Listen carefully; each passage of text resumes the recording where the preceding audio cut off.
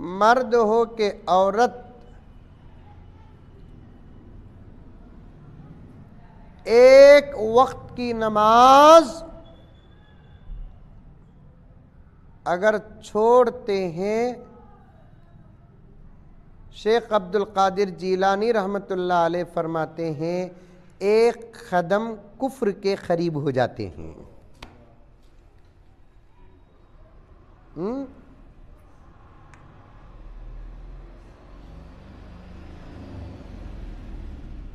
अल्लाह अकबर कबीरा।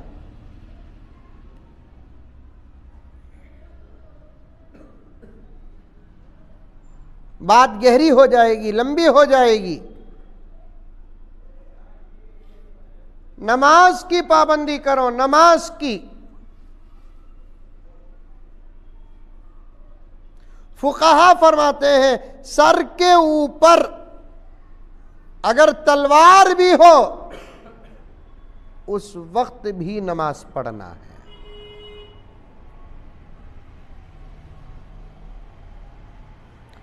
छोटी छोटी बातों में नमाज़ नहीं।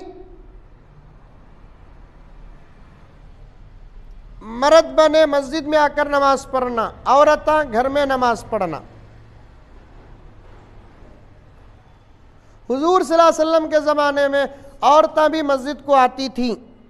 हदीस में है, लेकिन मकसूद नमाज़ पढ़ना नहीं, मकसूद दीन सीखना था, वरना नबी क्या घरा में जाकर दीन सिखाएँगे?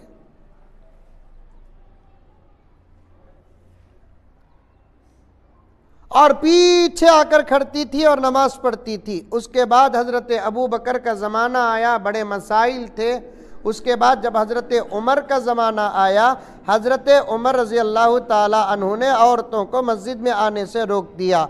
हुजूर वसल्लम भी अपने ज़माने में औरतों को मस्जिद की तरफ़ औरतों को बुलाई नहीं आज तक। और औरतों को मस्जिद के बजाय घर में नमाज़ पढ़ने की बड़ी तरगीब दी अल्लाह के रसूल वसल्लम। औरतें जितना अंदर नमाज़ पढ़ेगी, उतना ज़्यादा सवाब। औरतें फजर की नमाज़ जितना जल्दी पढ़ेंगी, उतना ज़्यादा सवाब। लिखे हैं फ़ुका कराम फजर की नमाज़ जल्दी पढ़ो, बोले तो दो बजे उठ को पढ़ लेना नहीं। नमाज़ का वक्त शुरू होते ही बहुत जल्दी नमाज़ पढ़ लेना। पाँच वक्त की नमाज़ है, फजर, जोहर, असर, मगरिब, इशा। फुकाहा फरमाते हैं चार वक्त की नमाज़ औरतें मोहल्ले की मस्जिद के जमात के वक्त के बाद पढ़ो, लेकिन फजर की नमाज़ मर्दों से पहले पढ़ लो। इसलिए कि मर्द फजर की नमाज़ ज़रा हल्के उजाले में पढ़ते हैं और औरतों के लिए इंतहा दर्जे पर अंधेरे में नमाज़ पढ़ना ज़्यादा सवाब है। देखो क्या क्या बोले? आ? मेरी आपा यहाँ और एक बात निकलती है, जिस औरत को अल्लाह तबारक व ताला अपनी इबादत के लिए उसके घर से निकाल को मस्जिद में आने की इजाज़त देता नहीं तुम्हें दो रुपए की कोथिमीर के वास्ते पूरा अथनी फिरते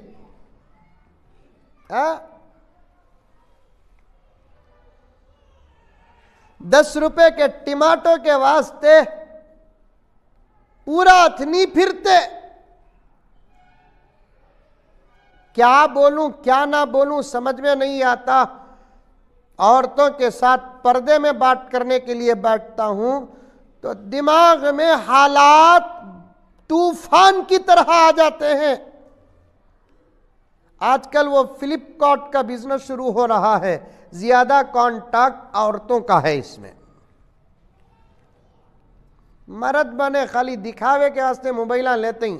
दो तीन पिक्चर देखे तो सुबह से रात हो जाती। उनको फ्लिपकार्ट भी मालूम नहीं, कार्ट फ्लिप भी मालूम नहीं उनको। पूरा इन लोग, पूरा ऑनलाइन मंगाते ऑनलाइन मंगाते। मालूम है आपा तुझे क्या मुसीबत है, इसके अंदर का राज क्या है? और तुम नहीं जानते। फ्लिपकार्ट में बुक करने के बाद लाकर डोर डिलीवरी देने वाला जो होता नहीं, उसमें से सत्तर फ़ीसद नौजवान तकरीबन इस्लाम दुश्मन के होते हैं।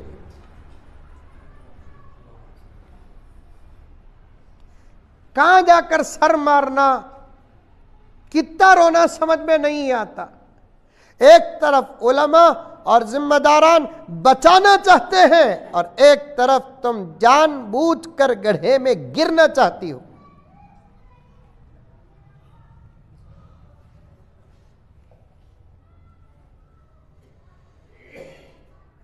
रास्ते में कपड़े बेचने वाला कपड़े बेचता है, उसके पास भी कोई चीज़ ना लो।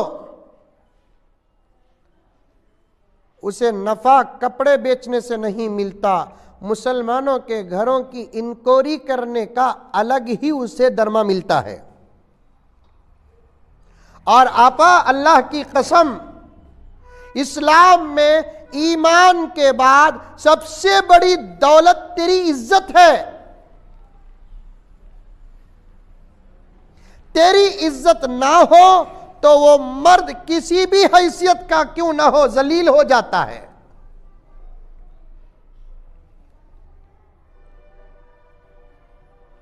किसी भी हैसियत का क्यों ना हो जलील हो जाता है? नमाज़ को घर के अंदर पढ़ने का हुक्म, नमाज़ को अंधेरे में पढ़ने का हुक्म, कुरान कुरान, मालूम है कुरान? अल्लाह अकबर कबीरा। सारी दुनिया का सबसे ज़्यादा खूबसूरत अल्लाह का कलाम, सबसे ज़्यादा पढ़ा जाने वाला कलाम, हर घर के अंदर रहने वाली किताब है। इसके जितने चाहने वाले हैं, उतने दुश्मन भी हैं। सारी दुनिया के अक्सर लोग दुश्मनी करते हैं। कुरान सलामत लेकर बता रहा है, तुम क्या मुझे मिटाओगे? मुझे मिटाने वालों को हर ज़माने में मिटते हुए मैंने देखा है। वैसा कुरान भी अगर औरत पढ़ना चाहती है तो आका ने फरमाया कि आवाज़ से ना पढ़े, इसलिए कि कुरान की तिलावत की आवाज़ भी औरतों का बाहर जाना नाजायज है। यह और बात है कि आजकल पढ़ते नहीं। अब आवाज़ बाहर जाने की क्या बात आती बोलो? पर तेचनी आवाज़ बाहर जाने की क्या बात आती है? अमल से यहाँ तक बात आ गई।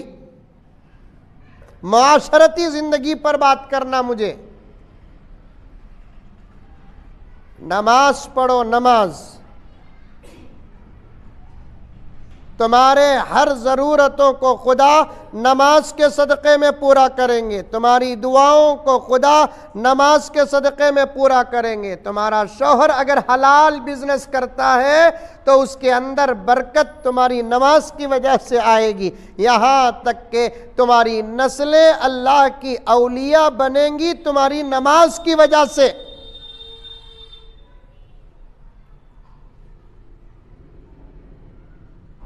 नहीं पढ़ती औरतें नमाज़। वैसा भी अगर पढ़ी तो फैजी, क्या? फैजी,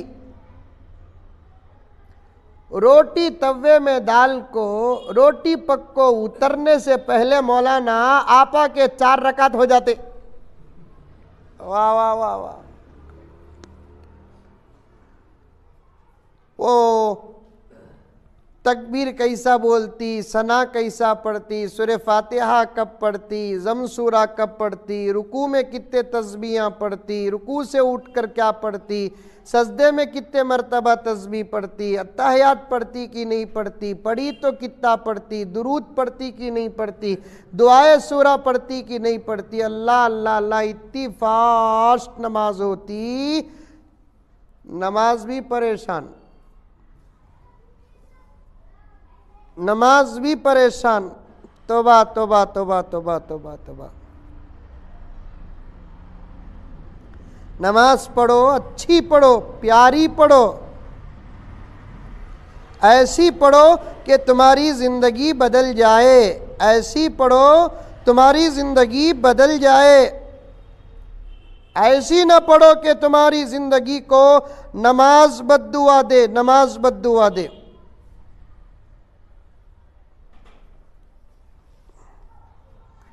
नमाज़ के मुतालिक कुछ अशार थे, बड़े अच्छे थे वो अशार। हज़रत राबिया बसरिया नमाज़ पढ़ती थी, जहाँ सजदा करती थी, सजदे की जगह से नूर निकलता था।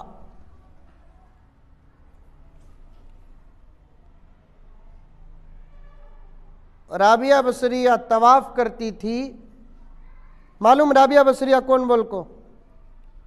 अरे मालूम नहीं मालूम। तवाफ करती थी राबिया बसरिया रहमतुल्लाहि अलैहा। तो काबतुल्लाह पर अल्लाह की जो तजल्ली उतरती थी, राबिया बसरिया के ऊपर वही तजल्ली उतरती थी। इबादत उसे बोलते। एक मरतबा हज़रत राबिया बसरिया रहमतुल्लाहि अलैहा। हज के लिए गई, तवाफ कर रही है। क्योंकि औरतों पर भी हज फ़र्ज़ है ना? औरत इंतज़ार करना नहीं। शौहर बुलाले को गया तो जाएँगे बोलकर। मसला मालूम ही नहीं। इबादात अलग अलग तौर पर फ़र्ज़ होते हैं।